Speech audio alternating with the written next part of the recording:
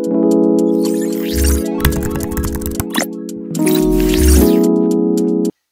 students, welcome back. Myself Pushpendra Singh. So we are going to start with our NCERT classes. And you know that uh, these classes are basically uh, based on the NCERT books, which are the most fundamental books for your preparation of civil services examination. All right, and uh, you probably would have studied these books while your preparation. Some of the students who are going to start the preparation for the civil services examination they can also refer uh, these books for the basic understanding. You can subscribe our channel on the youtube also where we are uploading these uh, ncert based classes on the youtube on the day-to-day basis. All right? So you can subscribe our uh, channel and you will get the daily lectures based on these ncert classes. Okay? So we were basically started the 10th class uh, the civics books. Uh, basically we have seen the first two chapters in last class yesterday's class. So today go, we are going to see another two chapters in this book. Okay. So let's begin with the class. Fine. So we were basically discussing about the democracy and the diversity. Okay. In that let's discuss about homogeneous society. So what is homogeneous and what is heterogeneous society? See any society which is called homogeneous means it is having similar kind of people. What what do you mean by similar kind of people? The similar kind of people means they have no ethnic difference. That means in terms of their culture in terms of their sharing of their particular origin their particular descendant they should not be similar. I'm sorry they should be you know similar. So that is called homogeneous society. There is no significant ethnic differences. That means the ethnic differences should not be there. The ethnically they should be similar. They should be more or less similar. That means they should have the common ancestral descent right? Isn't it? They have the common sharing you know the customs right? The practices that they have originated from there. Okay? That type of society we call that homogeneous society. What is heterogeneous society then the heterogeneous society is that type of society which are having the significant ethnic differences that means we are having a society where different ethnic groups, different ancestral origin, different customs, different practices are basically mingled together in a particular uh, uh, territory. That is called basically the heterogeneous society. So society which is having the difference differences in, in terms of their ethnicity, in terms of their customs, in terms of their the origin, in terms of their ancestors, they are called heterogeneous society. What is the term migrant? Migrant may be another person or anyone who is basically move from the source region, right, to the destination region. That means a person who is basically on the move from source region to the destination region, such person is known as the migrant. So migrants are basically anyone who basically migrate, right, from the source region to the destination region. And this process is called migration. This process is called migration. This source region may be a rural region in a particular country maybe an urban region in a particular country or it may have the state that means from rajasthan to say andhra pradesh or it may have a separate country that means from india to the usa right? This destination region may have a rural. That means the migration may be rural to rural. Migration may be rural to rural. Or that may have urban. That means a migration may be rural to urban. Or the migration may be urban to urban. All right these are just classification. Or this may have a state also. State means say from rajasthan to andhra pradesh the migration basically carried out by the migrant population specifically the workers from less developing state to the more developed state say andhra pradesh or tamil nadu from one country that is say from India to say for example Gulf countries or USA or Western countries, right? All such migrations occur. So migrations involve the people who basically move from the source region to the destination region. All right. So this is basically generally done for the purpose of work or for the purpose of the greater opportunities which are available for the migrants in their destination region. All right let's understand the civil rights movement. The civil rights movement was basically started by various civil rights activists right? For example in india you know you have dr b.r ambedkar who have started the civil rights movement for the purpose of the giving equality rights based on you know the based on you know uh, the most fundamental principles that every person have the equal fundamental right? In the similar way in the us there is person called martha martin luther king jr who's basically the movement basically lasted from 1954 to 1968 there is racial discrimination in the usa specifically against the black persons or the black persons. Like in india we have caste based discrimination right? Which is the lower caste or untouchables are basically discriminated by the upper caste people in india. In the similar case in the usa there is racial discrimination even today also. Though we have outlawed the racial discrimination from the usa and caste based discrimination in the india but still this discrimination also existed in a different form.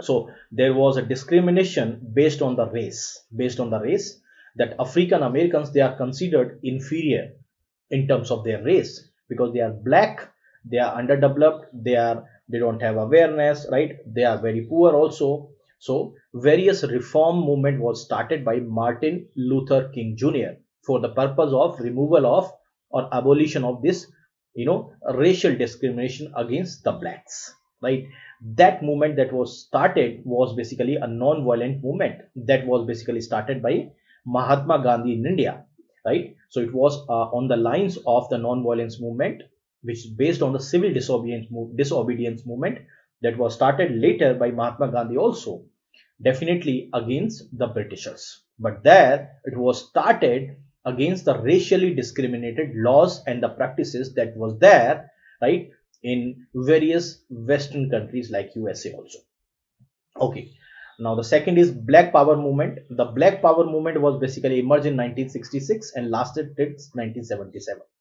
It was against a militant movement that was having the anti-racist element, right? It was, you know, assertion of the black identity, the you know the equality in terms of, the races right so that black power movement was advocated in terms of violence so there was a cases of the violence right that was necessary to end the racism in us that was justified by the by the promoters of this black power movement. Okay. Now let us understand the incidents where the two us athletes who were protested in the mexico olympics in 1968 right what happens is the two us US athletes that were basically black right?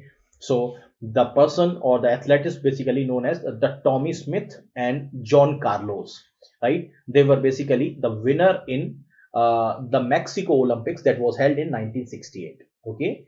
That were basically us athletes. Now what happens is they received their medals only bearing a pair of black socks. They don't wear or they did not wear at that point of the time the shoes right? The wearing of the black socks and just accepting the model is basically you know uh, showing basically some sort of a you know the protest against the the basically the racial based discrimination that was occurred. So what happens is the black globes and raised clenched fists were basically at that point of the time was symbolizing the black power right? So that was the reason they were wearing only the pair of black socks with no shoes that represent the black poverty right? So what happens is this were basically uh, this incidents that were basically done by the Tommie Smith and John Carlos that basically responding to the social differences, the social divisions that are there in the society, specifically in the US, which is based on the racial criteria, right? Which is based on the racial criteria. Now, there was social inequalities also, right? These social inequalities are basically based on the racism criteria. Now, they want to end, they want to end this racism criteria right? By outlawing you know uh, these laws that were based on you know the racial criteria. That racial criteria which was held the people specifically the blacks okay? Which were basically considered inferior in front of the whites. Now with the gesture of their intention that was to draw the international attention right? Specifically to the racial discrimination practices that were related to the United States. Now what happens is, right, uh, the person called Peter Norman Ward, which is a basically human right activist who basically, you know, uh, you know, a badge on his shirt showing some sort of a support to the, these two American athletes. Now what happens later, because of uh, the violating of the the Olympic spirit or the code of conduct of the Olympic spirit by those the two athletes called Tommie Smith and John Carlos, their medals were basically taken back by the International Olympic Association because they were basically, you know, uh, violated the code of conduct related to the Olympic spirit, and that was the time when their uh, the medals was basically taken place. All right, now let us understand the origins of social differences. Why these social differences existed in our country or in various countries. Like these social differences may be in the different different forms.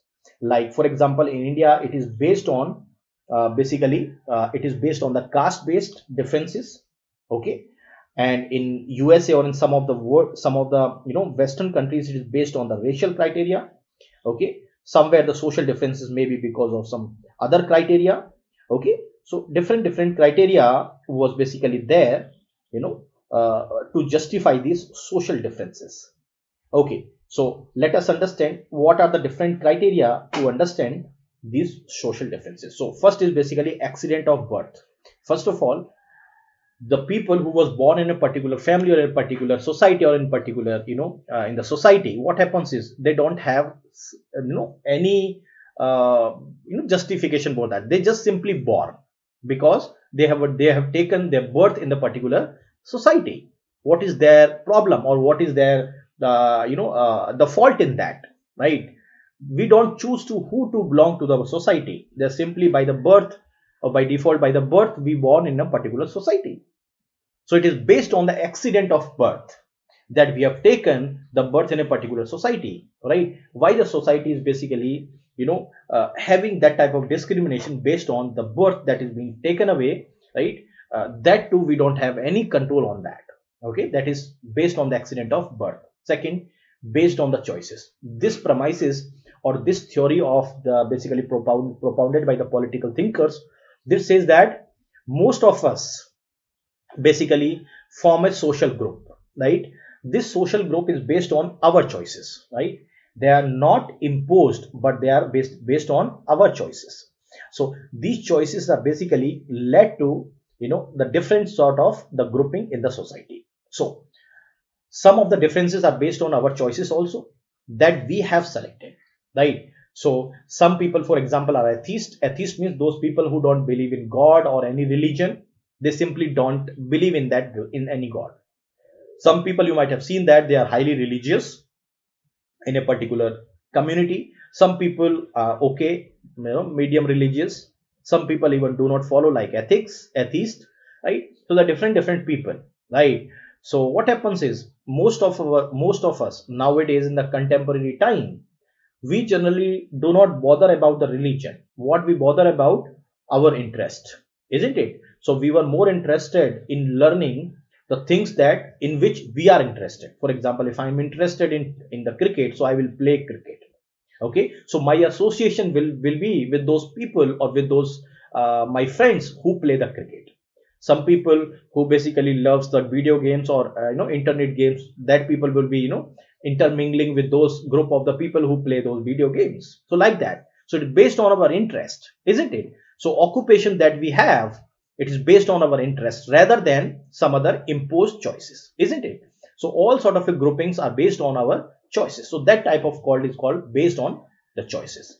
Now, now let us understand the phenomena called overlapping. Now, what is that overlapping phenomena? First of all, see the phenomena called overlapping is basically based on certain social differences. Now, what happens is there there may be some social differences. For example, if there is deep social divisions, right, which are which are incompatible, that means they cannot be assimilated, they cannot be accommodated, and there is huge social tensions between the different section of society.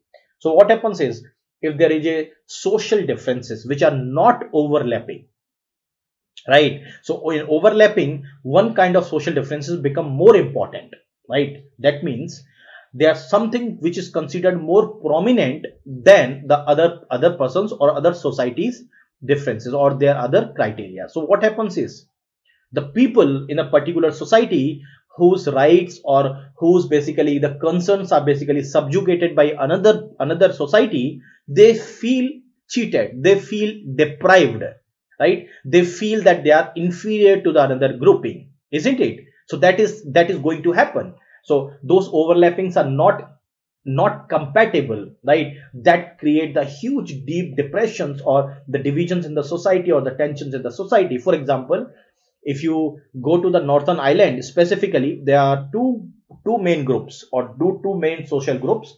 One is basically the catholics and another is basically protestants. Both belongs to the christianity. What what happens is the catholics are basically most likely to be poor because they are suffering the history of discrimination in the hands of the protestants. So protestants in the north island northern islands basically is considered to be uh, you know uh, rich because they are considered superior. So there is obvious conflict between the Catholics and the Protestant which are there in the Northern Ireland. So there, there is a huge deep, you know, divisions and the tensions between the Catholics and the Protestant in the Northern Ireland.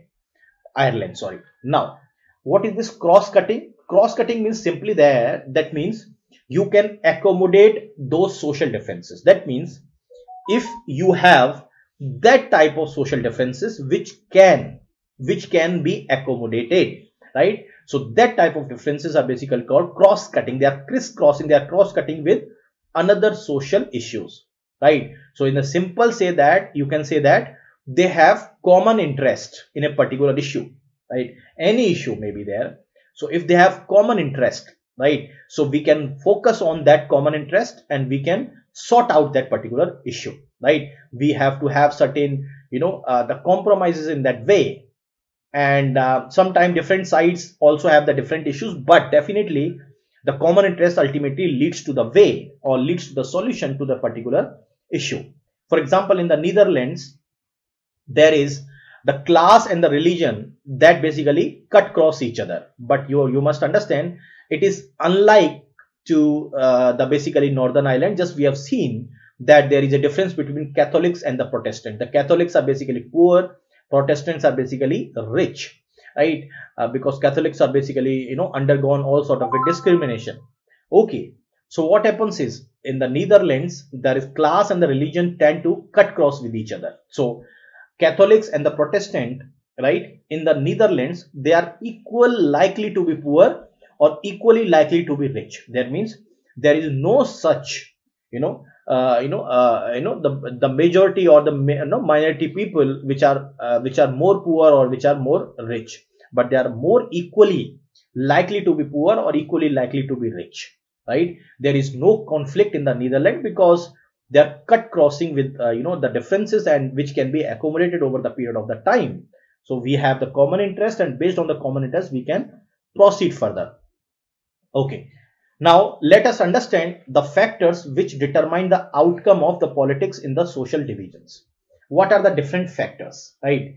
So, that factors which basically determine the outcome of the politics, right? First of all, how people perceive their identity. The perceive is more important, right? How the people think that my identity or our social identity, right? So, that is in terms of the identity whether that is accommodative right or whether it is exclusive. So if the person think that in terms of exclusive term that it is not accommodative so it will be very difficult to to accommodate that you know uh, that people in the basically in the mainstream society right? If the people think that they are the part of the society they're part of the nation their particular concerns can be accommodative right? It is based on the the premises that we have. For example in the constitutional democracy normally the constitution basically set up a, you know the boundary lines right? So within the constitutional limit we can adjust or we can change right? Or we can you know consider those demands. But if it has been asked beyond the constitutional limit definitely we cannot sort out on that background so it will be very difficult to accommodate those demands so that thing you can understand that the many states are basically demanding you know that type of demand which cannot be accommodated within the constitutional limit even in india. So their demands cannot be accepted but merely just asking a regional autonomy within the constitutional limit is have no problem definitely no problem. So if the state or if any particular area is asking more autonomy but that is within the constitutional limit within the indian constitution you can definitely go for that. There's nothing wrong in that okay? So in the in the ireland what we have seen as long as the people in in ireland they only see themselves as a catholics or the protestant their problems cannot be resolved. Their problems cannot be resolved. It is difficult to reconcile because they still stick to the catholics and the protestant phenomena right? So if for example if they have the common interest just like we have seen in the netherlands if there's if they have some common interest we can go through with that. For example if they think or if they identify themselves with a complementary with national identity right that we are basically a, a part of a particular nation. So if they have some sort of a complementarity in that we can we can we can basically help you know uh, uh, all those groups. So they, this will basically help the people to stay together in a particular society and reduce all sorts of a secessionistic tendencies or you know the tendencies which are basically uh, you know cannot be accommodated so that can that can be accommodated over the period of time. Okay. Now the second is the second determinant is how political leaders raise their demands of any community. So that is most important. Sometimes the political leaders they understand the limits well limits which are set up by the constitution so they ask or they demand that type of you know demands which can be accommodated right? Which can be easily accommodated if there is a constitutional limit for that.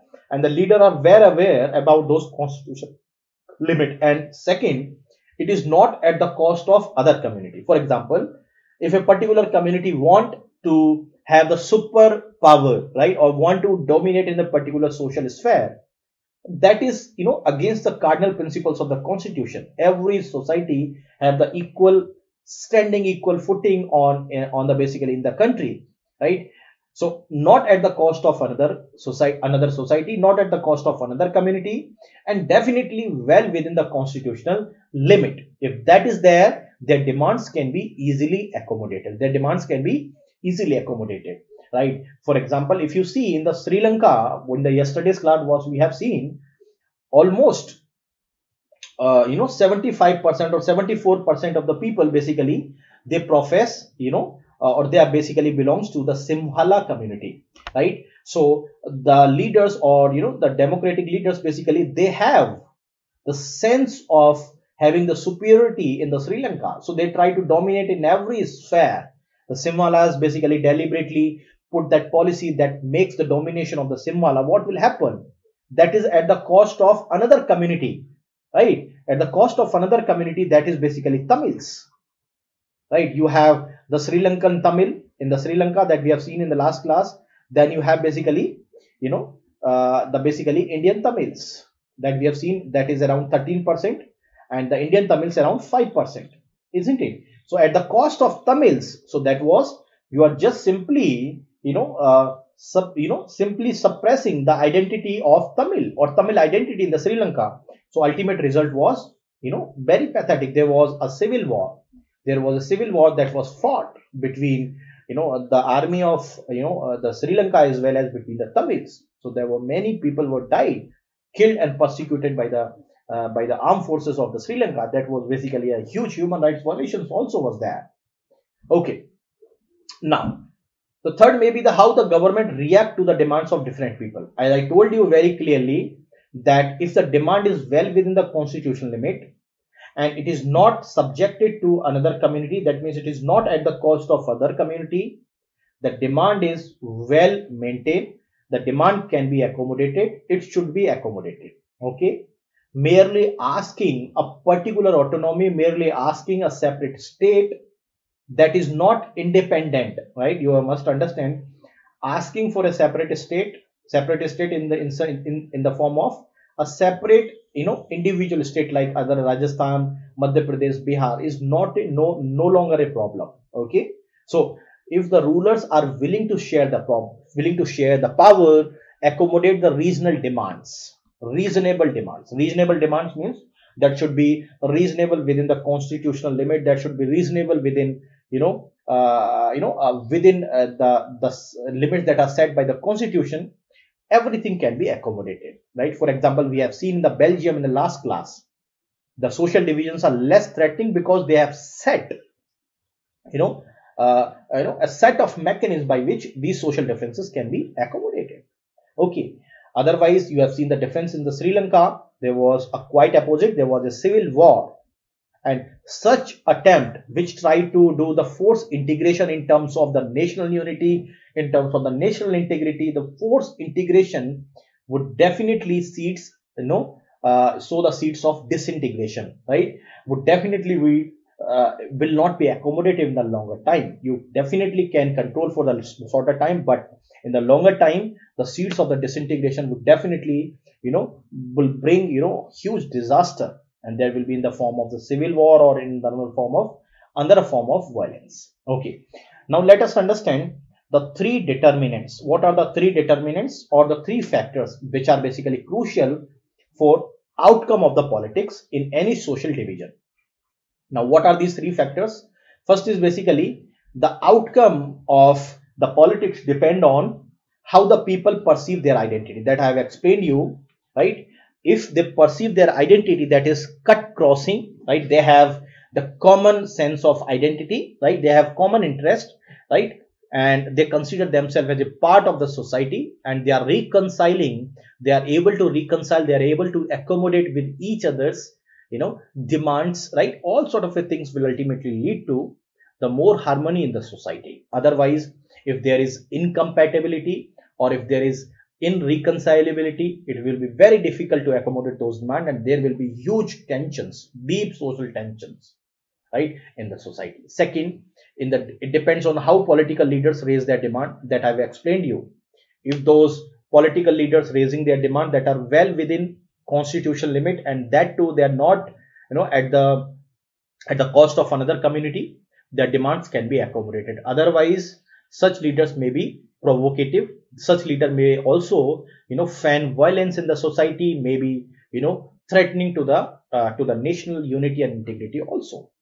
Third it depends on the how government react. If the government react proactively with those demands which are legally or which are within constitutional limit definitely that type of action of the government definitely resolve the issues sort out sort out the issue. But if the government is not concern about right about the legitimate demands of the people. Legitimate legitimate demands which are well within the constitutional limit should be fulfilled. There is nothing wrong in that right? If you consider that just simply the assertion of social diversities is a problem no this is nothing problem in that. It is it should not be seen as a as a source of danger to the national integrity no we have a lot of social diversities in our country but we have the unity in the diversity. So we should concern about and we should be we should be more proactive about the cherishing of the unity in the diversity. So social diversity is no longer a problem. It's not no longer should be seen as a danger right for any country because it is no longer a danger but it is a source of the inspiration also. Then the expression of various kinds of social divisions in the politics right? Over basically results in the cancelling with each others out and thus reducing the intensity of their conflict. Sometime that may happen right? But if the people who feel marginalized or who feel discriminated or deprived what they happen? They will ultimately face you know a lot of hardship. So what will the people will do? The people will ultimately fight for those justice for you know fought for you know for those people or fight fought against for those people who basically done those injustices. What happens is sometimes this injustice which is done to those marginalized sections of the society like in india the scst people are basically faced the huge injustices right in the hands of the upper caste people. So they fought right for the social equality. They fought for the justice in the society and many people like Ambedkar, Swaminarayan Periyar, right? Many people who came, you know, uh, basically to struggle against this caste-based prejudices, right? In, in, in the in the USA also, like the Martin Luther Jr. King that we have seen also fought against the racial discrimination. Many such people came down and support such type of move. right so definitely the history basically shows that the democracy which is the best way to recognize and to accommodate the democracy in any country. So basically the you know the democracy is the best way. But if you don't have the democracy right the democracy is basically based on the basically you know the rule of the people by the people. So it can be mm-hmm. best accommodative in that aspect. Okay. Now let us understand the gender religion and the caste. So that is the next chapter. So as you know that you have seen in the newspaper the feminist. A person may be a feminist. So what is the feminist mean first of all? A feminist need not be only woman. First of all let us let us clear. Sometimes we think that a feminist can be a woman. No. The feminist can be a man or feminist can be a woman. What what is the feminist? The feminist basically a person who believes that there is equal opportunities for women and the man there is equal rights for equally for women and the man. So such type of belief system is basically called the feminism. And the people who profess or who believe in such type of things that the men and women are equal they have equal rights they have equal opportunities such person is called feminist person. That may be a female or that may be a male. Now what is the feminist movements? See feminist movements are generally basically radical movement because when you associate with the movement generally this type of movements are basically associated with the radical tendencies. So people used to fight. The people used to fight with those uh, injustices which are met to the women specifically in terms of you know not providing equal rights and opportunities. So what happens is they aimed at attaining the equality for the woman in every sphere whether it is a personal family life or in the public sphere okay. So these movements basically you know agitated or organized basically to raise their demand. They raise their legitimate demands to provide the equality of the woman equal rights equal opportunities. Right? Not only in terms of the public sphere but also in the private sphere. Enhancing the political status of the woman enhancing the legal status of the woman improving all sort of their opportunities which are lying the educational opportunities right with respect to the all sections of the society. Isn't it now you have seen the patriarchal society also. What is the patriarchal society?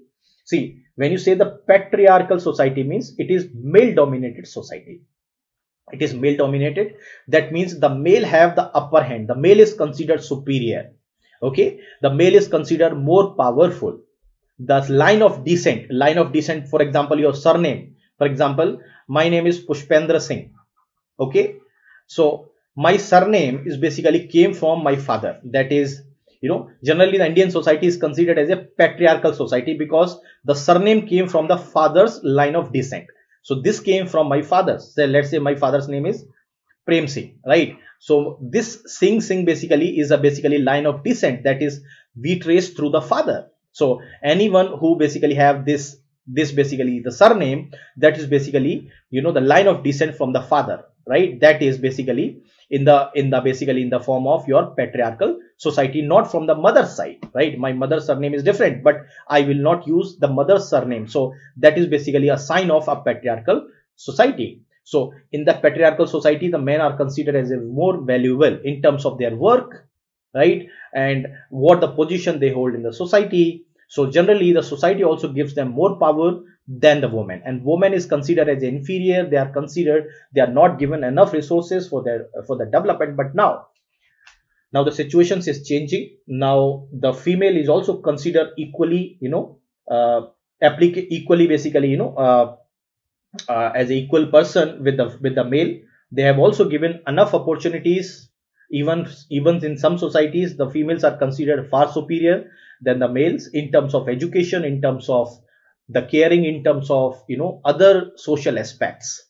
So females basically are uh, you know uh, better performing than the males in various fields even in the patriarchal society because there are a lot of changes are happening in the society right? So a lot of things have been changing and uh, definitely the female and the male both are considered both should be considered equal in that respect.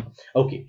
Next communal politics. The communal politics you must understand the communal means the politics which is based on a particular religion right? So that means if there is for example if there are two religion in a particular society or in a particular country right? So let's say the two religion maybe one religion a another religion b right? So that means there will be a demand of the one religion there will be a demand of this religion also right? So what happens is when the demand of this religion let's say is basically you know is basically comes in front of the demand of another religion or the demand of one group is basically formed in the opposition of another group's demand or let's say uh, the A is basically uh, the predominantly the A community is basically a ruling uh, party in a particular state or in a particular country.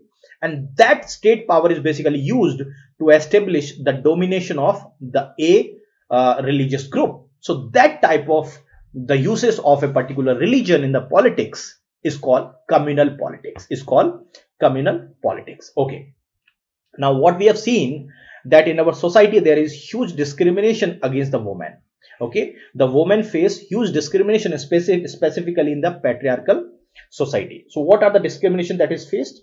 First of all in in the studies that you have seen in the board results also in 10th result 12th results females are always outperforming than the boys. The, the girls are mostly perform better than boys in terms of their passing percentage in terms of their success rate. Right? But generally they drop out as they basically graduate to the higher classes.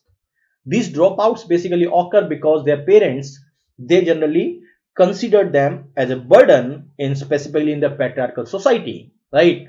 So uh, the the parents basically prefer that the whatever the resources that they have they should be given uh, you know to the boys rather than to the females rather than to the to the basically you know females. So the parents basically have the intention of giving more importance to the boys than to the girls specifically in the education so what happens is only the small percentage of the women basically goes to the higher study. That is the that is the primary uh, cause for the higher dropouts of the female specifically from the 10 to 12th and then to graduation and super post graduation and to and to the further to the research level. Okay. So as you have seen in your household also the woman used to work more than the average man right for example the woman used to work since you know uh, from the morning four o'clock if the woman is residing in the rural area she used to go she used to you know uh, take care of the of the basically you know cattles right? Taking care of the cattles and then cooking the food for the family and then again till night right? Till sleep. So women used to do more work than the men but such work is basically not paid. So their work is not valued for that purpose right? And um, uh, and that is also one form of discrimination against the women that their work is not recognized their work is not valued their work is not paid. Okay? In india the parliament of india basically passed the equal wage act right? That says that right irrespective of the gender right every person should be provided the equal wage for equal work equal wage for equal work. But what is happening in every field that to in cinema or factories or any field if you see the women are basically paid the lesser lesser salary right? Or lesser remuneration. That is also one form of the discrimination that is found in our society. Okay. If you see the child sex ratio what is the child sex ratio? See child sex ratio is simply term you can say that the number of females the number of females per thousand male in the age group of 0 to 6 years. That means number of females per thousand males.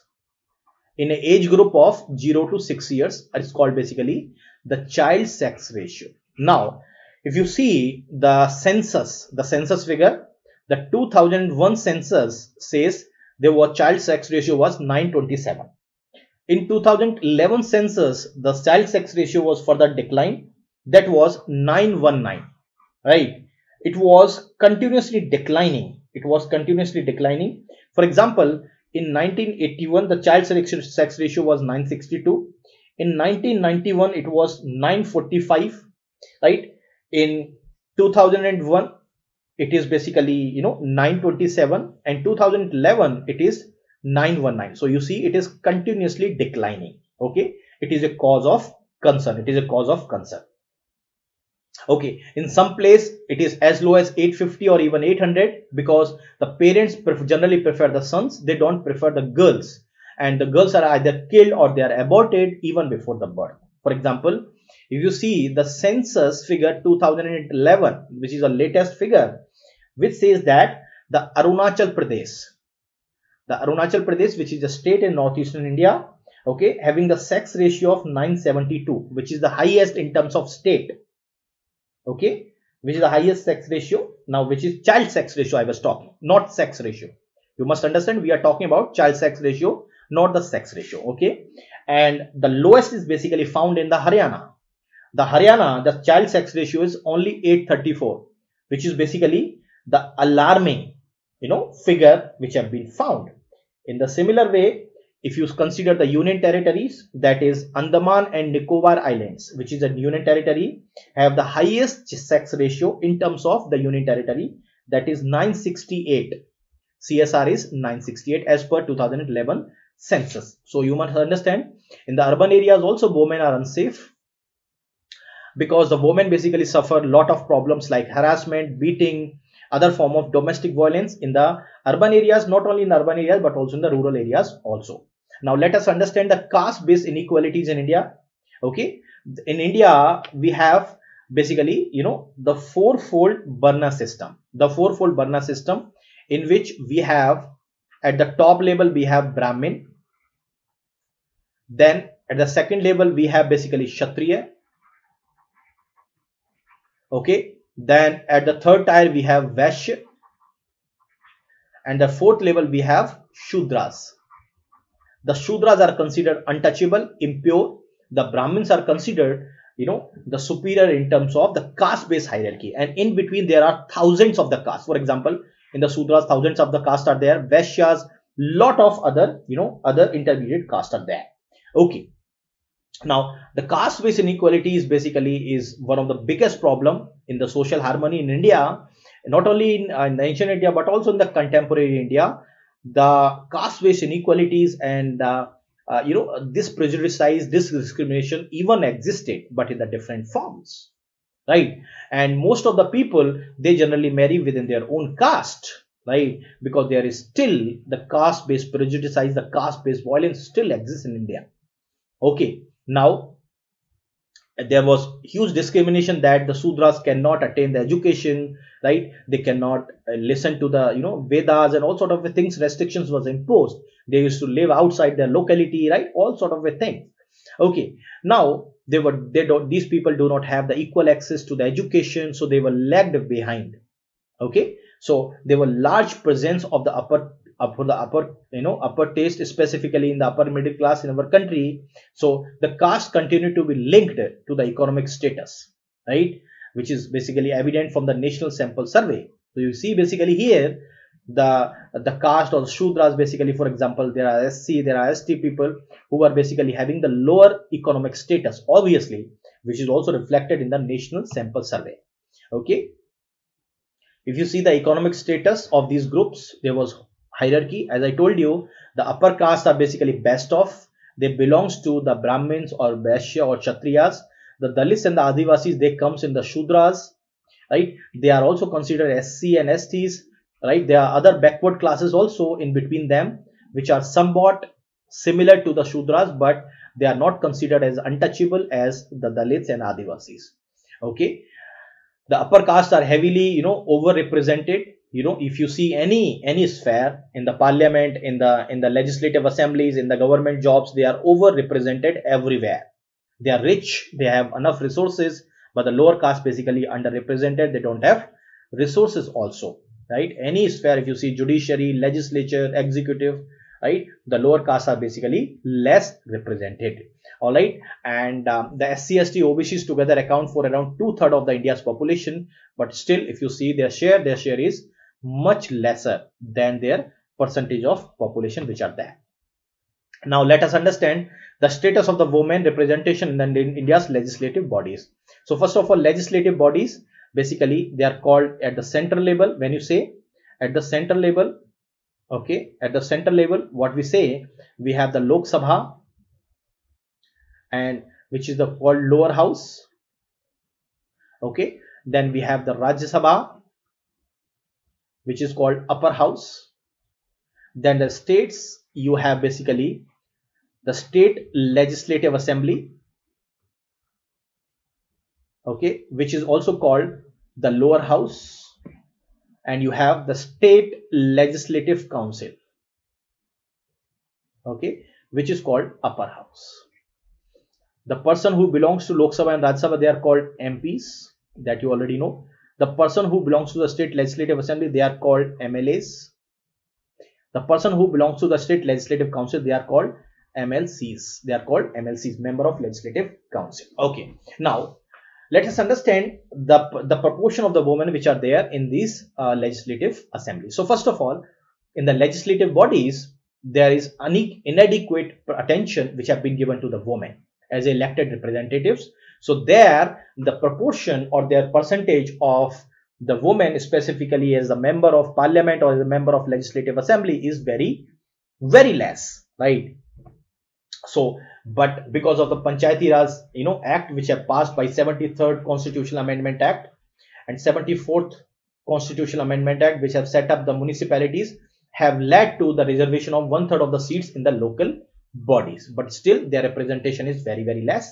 For example, if you see the latest figure, if you see the latest figure, the percentage of the women specifically in the Lok Sabha, in the Lok Sabha latest figure I have that is in 2013 there are 11% women in Lok Sabha.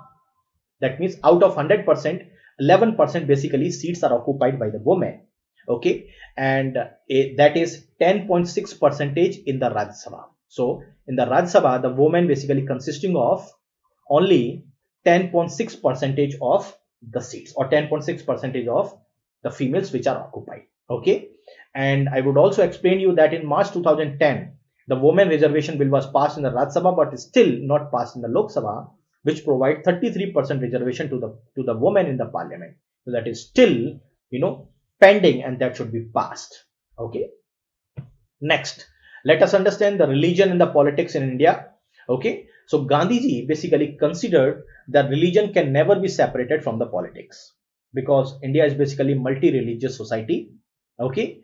So here you must understand the religion uh, Gandhiji does not mean that any particular religion like Hinduism or Islam, right? But it simply says that the moral values and the ethical consideration which are coming out, which are originated from the particular religion, that to guide the politics, not a particular religion that is concerning like Hinduism or Islam. So that is in that sense, it should be understood in the sense that Gandhiji believes that the moral values and ethical consideration of a particular religion should guide the politics in India. Okay. So religion in the politics is not dangerous as it may seems to us as long as its moral values and ethical considerations are taken right as the base for conducting the politics. But in India, there is huge case of communal politics, communal violence related activities, right? Gandhiji believed that ethical values of each religion can play a major role in the politics. So according to various human rights groups, most of the victims of the communal rights are basically from the religious minorities because religious majorities basically impose or you know uh, does certain you know uh, discriminatory practices against you know the religious minorities so again they are the religious minorities are basically victim of such caste of such religion based or communal rights that were occurred anywhere. Okay? So the government should take a special steps to protect them from such type of communal violence right? There were many instances that shows that the relationship between the religion and the politics. Okay? Now what happens is people should be able to express in the politics their needs their interests their demands right that should be secular right? Not as the member of a particular religion community. If they are incompatible definitely it cannot be accommodated. So the demand should be uh, uh, reconcilable. Their demand should be compatible enough right? They should have the common interest right? Then only their demands can be accommodated right? So it's the responsibility of those who are in the political power that they should be able to regulate the practice of the religion right? Without any discrimination definitely to prevent the discrimination and the oppression specifically by the majority on the minority. Okay? Now let us understand why uh, the regions which have contributed to the changes in the caste system.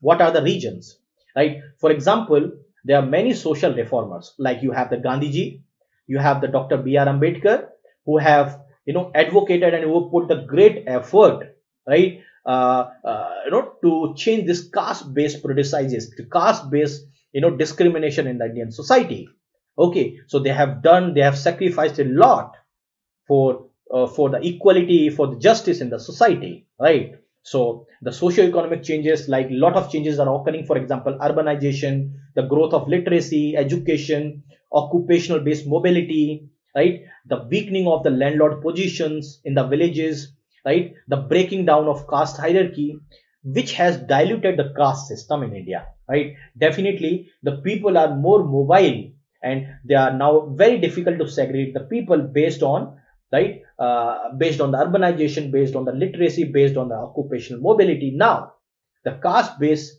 prejudices and the discrimination, the caste-based equations are now diluting, but still they are exist in our country.